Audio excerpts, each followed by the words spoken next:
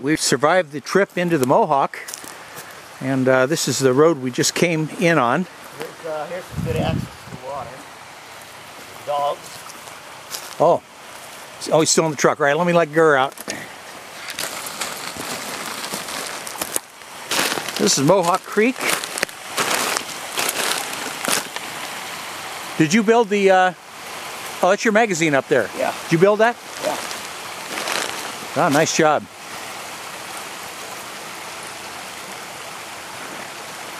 Now, you gonna have any issues with Forest Service on that, or are they gonna leave that intact? Or, or do you know? If if I don't have uh, the ability to, to mine down here, then I really don't care. Oh, you were talking about possibly selling it too, huh? Well, not the not the magazine, but uh, the you know, I mean, maybe smell the mine. Yeah. Yeah, but But that would include the magazine, correct? yeah. There's old Gurry, he found a swimming hole. What are you doing down there, huh? You cooling your butt?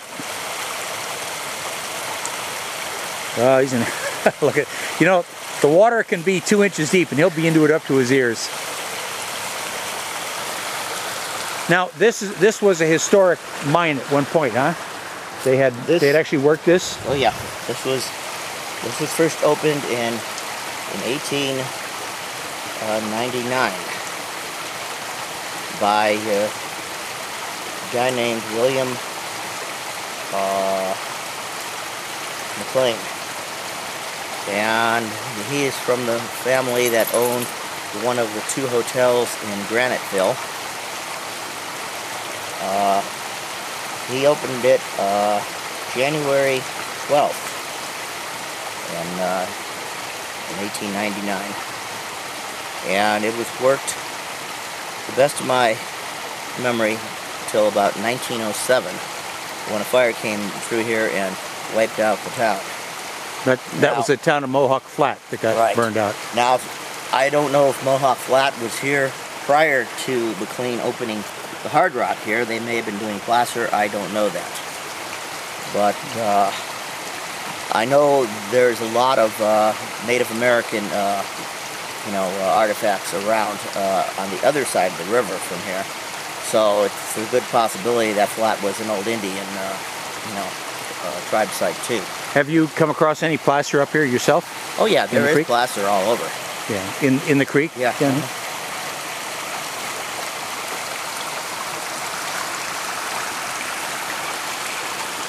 Well, I'll tell you, I don't think you have to worry about them opening a McDonald's anywhere nearby. Now, right over the other side there is where the old mill used to be, the crusher stuff. And they had, uh, That would have been on the bank over there. yeah, well, kind of there, you know, a little bit further back and down, uh, just a little bit, but they had a, a trestle going across the creek here. So they come out of the, out of the tunnel with the ore cart, go across the trestle, and then down to the, the mill over there. We're up here at the adit level right now. There's some T-rail up there, I guess, for one of the ore carts. By the powder magazine. Heading over towards the adit now.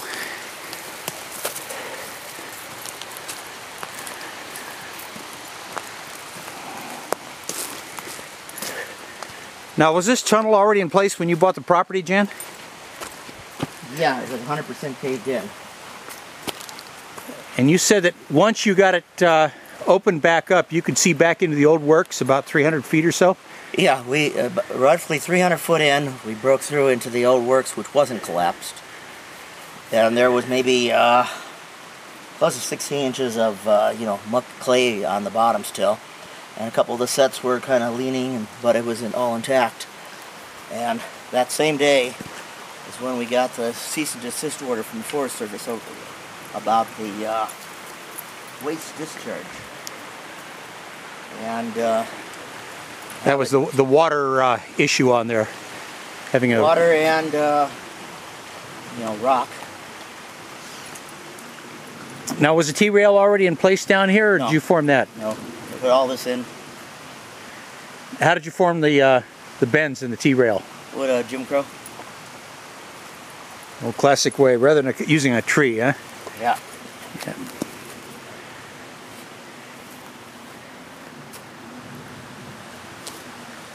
Now you may have read about this tree uh, top coming out this past winter. Oh yeah. Uh, somewhere, I can, well, right up there. There, The top, I, I see it. and it came I see it right now. over, and it and it came down on the other side of the powder magazine. That tree looks like it had been uh, fire scarred too. See, maybe a lightning strike. See all the uh, Yeah. all the carbon on the side. No, it, it, I know what you're talking about, but it wasn't. Hmm. It's just been dying slowly for years. But yeah, that's that's the top of the, the tree right there, Wow. and it's about three feet into the ground. That's how close it came to landing on the magazine. Oh. In We've- addition, to, First of all, we've, we've got this big slip of rock that's come on down and actually wedged the whole uh, tunnel entrance over to the side to the point to where the door is just barely able to open up. So the idea is to eventually get that rock out of there and jack the uh, adit section open. And then you were saying, Jan? okay, so in the process of pushing it, it put pressure on this wall, so it blew this wall in, and it knocked the next set down. Let's see if we can get any, any kind of video on this.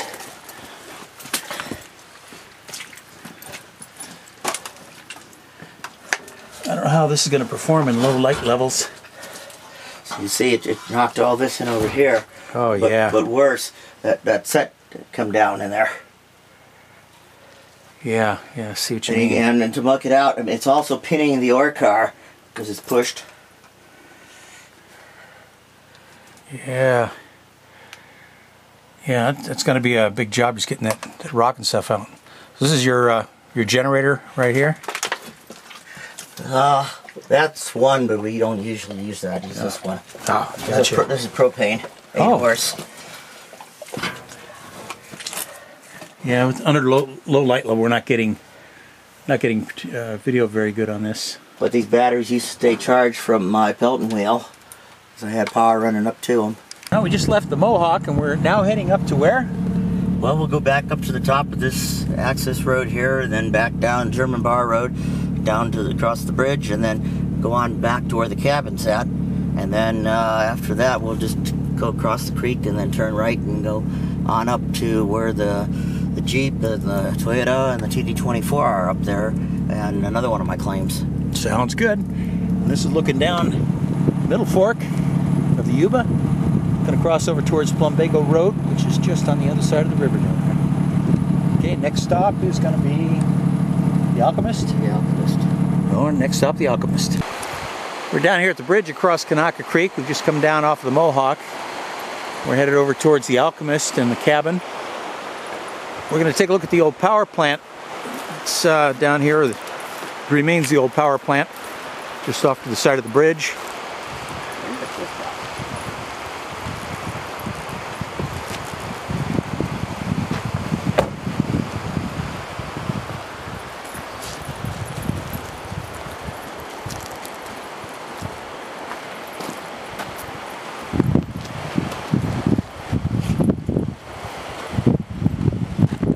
There's down there's a section of that riveted, probably 24 inch diameter hydraulic pipe. Now was that for from the penstock for the power plant? yeah. Let's see if we can zoom in a little bit on there to, to see that.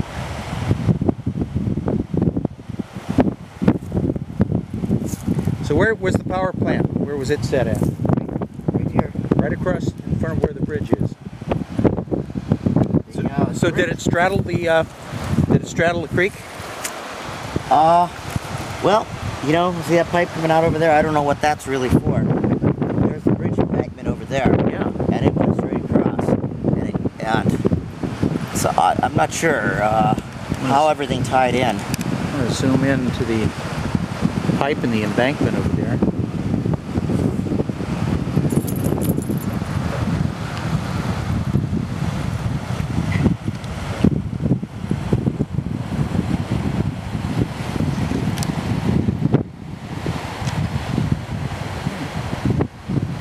So I figure that that wall over there was possibly part of the power plant. Yeah. It wasn't a bridge abutment. No. The bridge abutment is Down- down in those trees over there. Oh, okay. And the trees are down. Oh, this again was part of the foundation Yeah. for the power plant down here. Gotcha. All right. Jan was one of the early taggers up in this area. We can see right up here. Should be Jan Magyver. Starting in 2000. 67. We start in 67. 1967 down here. Yeah. Going on up to 1999 with a carriage return back here to 2000 and continuing on up to 11. Are you proud of yourself for defacing this public property? Yes, I am very proud of myself. How proud? How proud are you? Enough to have a beer. Bon appetit. I lived for 10 years of my life. And all the damage to the cabin that we're seeing, this is the windows and the doors that got ripped off That's all by damaged Forest. by the Forest Service. Every, all, everything. There's a whole porch out here with railings, stairs. They, they ripped all that out.